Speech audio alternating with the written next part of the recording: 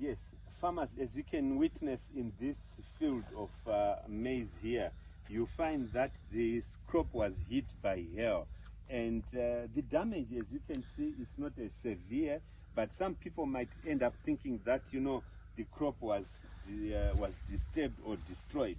But if you look at this leaf here, you find that the crop, yes, it was hit, but uh, you find the um, the rib actually is not broken, which means photosynthesis is actually still taking place on the leaves just because the stem or um, the rib is still intact.